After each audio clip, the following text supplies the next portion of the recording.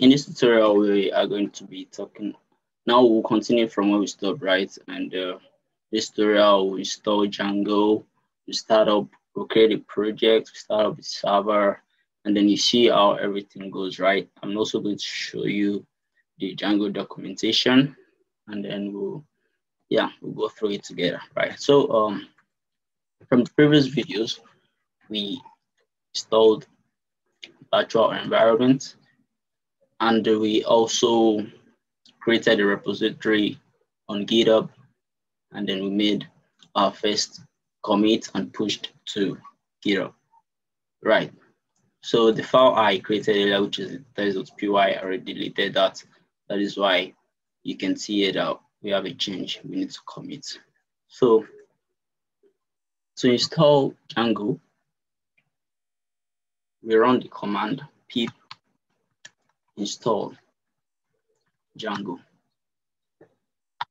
So, but you have to be mindful that you are in your virtual environment. So you install Django in your virtual environment. If you are, if your virtual environment is not activated and you are try to maybe start up Django server later on, you're going to encounter some errors because Django is not installed on your uh, computer globally. It is only installed in this virtual environment. Now we have successfully installed Django. Okay, so before I move on, let's just let me just show you the Django documentation, which is here. Uh, so when you Google, right, let's go back to google.com and we just search Django documentation.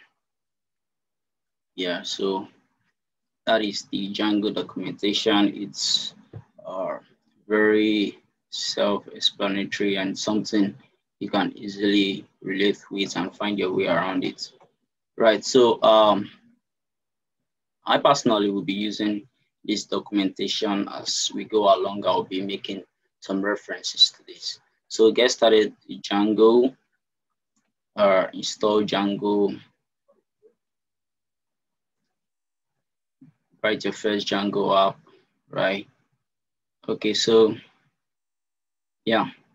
So from here, we'll come back to this. Uh, let's see, we have already installed Django. This is an installation guide. To install Django, you have to run this command, which I already did.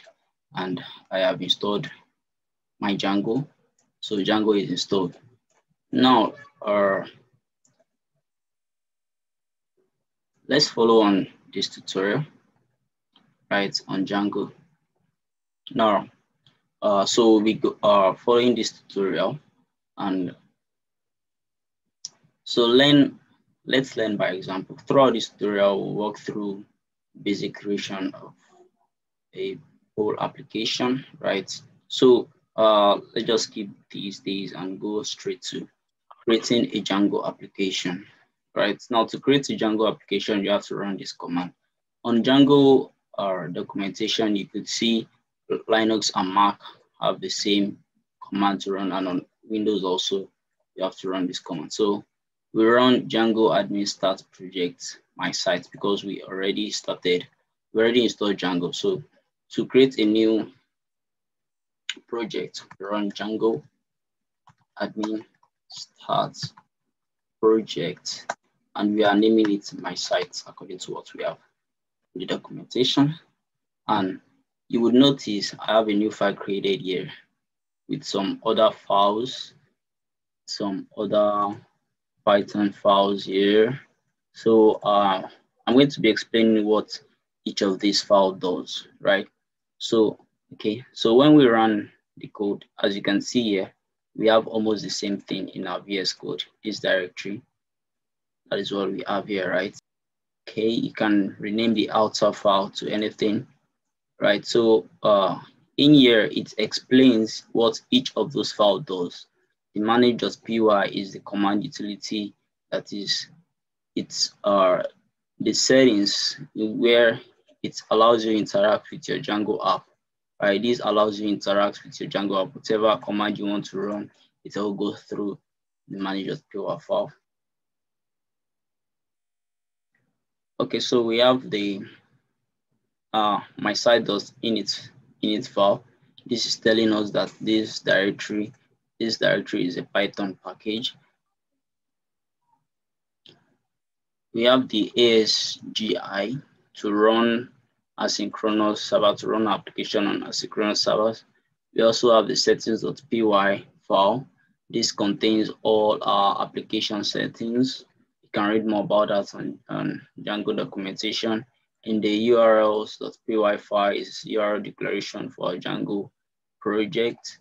And uh, as I said, ASGI to run asynchronous to serve your uh, project on asynchronous server and WSGI is web service, web server gateway interface, right? So uh, basically that is it. And uh, we have our projects. So yeah, basically that is how to start your Django project. Now to start up your server, you run this command, python manage.py run server, right? Okay, so why we have that is because we have not changed directory into my site. So change directory into my site and then we run python manage.py run server. And you will see we have successfully have been able to successfully start up our server, right? Just as we have here. When you click, when you run this command, you have this and you've been able to start up your server. So when you visit this uh, URL in your browser, when you visit that URL in your browser, you would see the welcome uh, page, which tells you that you have been able to start up your Django app successfully.